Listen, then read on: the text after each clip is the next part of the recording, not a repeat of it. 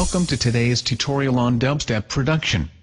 Typically a tempo of 140 beats per minute is selected. First, we begin with a simple kick and snare pattern, like so.